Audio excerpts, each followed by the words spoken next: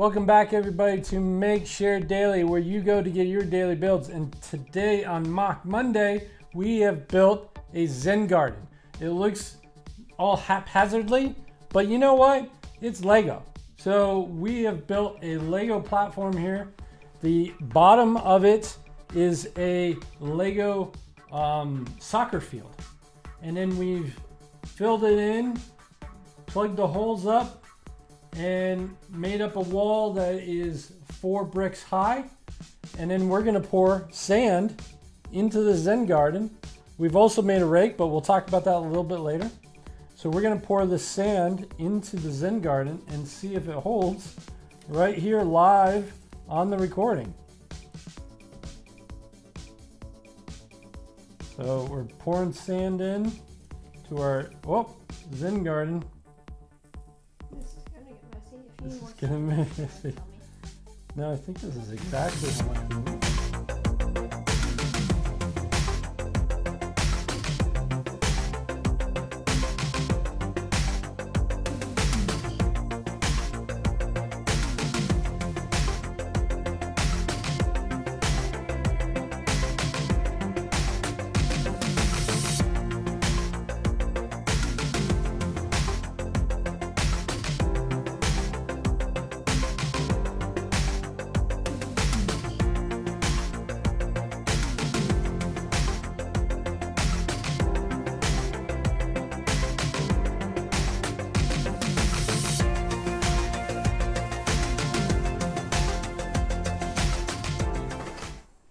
So we've put all the sand into the Zen garden and we have a little here, a little rock feature and a little tree feature, a little bonsai tree, if you will.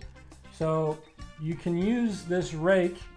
This rake is uh, Technic pieces, just long straight pieces, uh, two two by fours plates holding it together on top of a one by six Technic with the holes on side. And then we have the one by one dots and a one by four plate for the, the teeth of the rake. So you can take the rake and you just put it into the sand and just rake it across.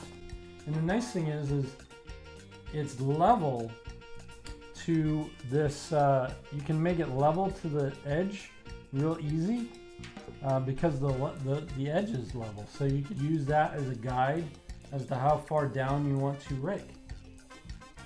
Now, the, the beauty of a Zen Garden is, it's never 100% correct. So you just keep going back and forth over it and making a better circle or a better line, depending on what you're trying to make. And uh, you just keep going and going.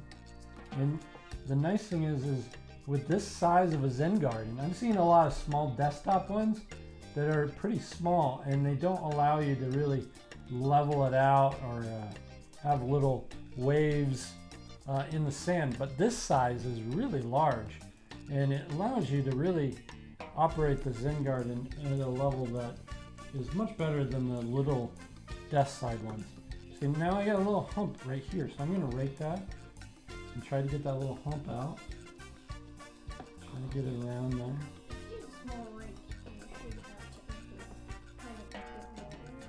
Yeah, you could have a smaller rake or a larger rake depending on what you're going for. If you have a smaller rake, you can have tighter little lines and tighter turns or more symmetrical turns.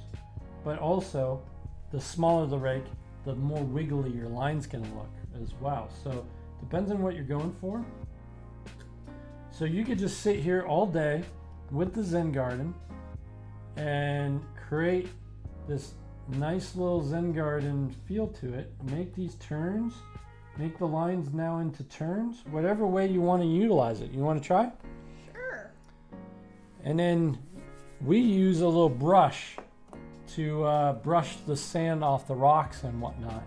And you can use that just to get the sand into the place, you know, out of the places you don't want it.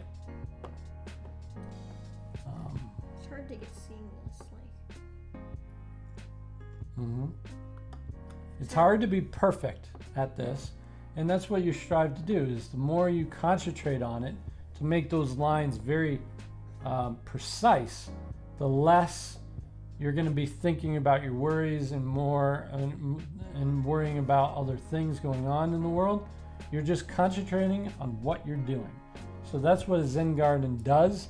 It allows you just to concentrate on what you're doing at the time that you're doing it. And using the rake and making patterns, uh, tight patterns and long patterns, it makes you concentrate on what you're doing.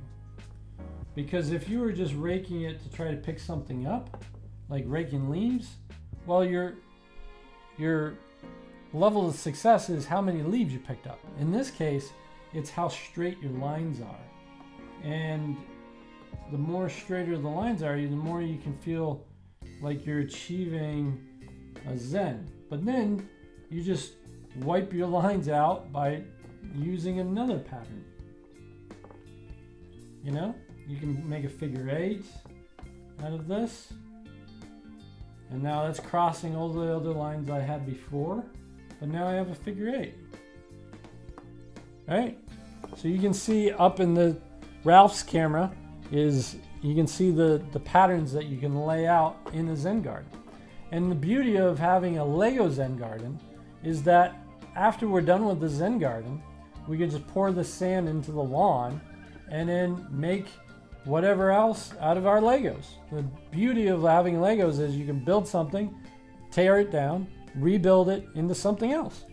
So that's the beauty of having a Zen garden made out of Legos is you it, it's not permanent. You could just tear it down and rebuild it into something else, maybe a robot next time. Okay, thanks everybody for watching and if you like this kind of video and you like our Mocs, check out Moc Monday on our channel. Please subscribe. We'll have a lot more Mocs in the future. And if you want to see daily videos, daily builds, make sure to subscribe. We do a daily five minute challenge each and every day, posted at 7 a.m. And if you like this, leave a comment. And if you didn't like this or you have suggestions on how to make this better, leave those comments as well. We'd love to hear about it. And if you build your own Lego Zen garden, take a picture, share it to our social medias Facebook, Instagram, and Twitter. Just do a hashtag make share daily and it will get to us and we would love to see it. We'll probably repost it or retwitter it and uh, make sure to share it with us so that we can do that. And if you want to see more of these type of videos, more Moc Monday or our five minute challenge, make sure to subscribe and hit the bell for the notifications as to when our videos come out. We'll see you tomorrow. Thanks everybody. Bye-bye. Bye.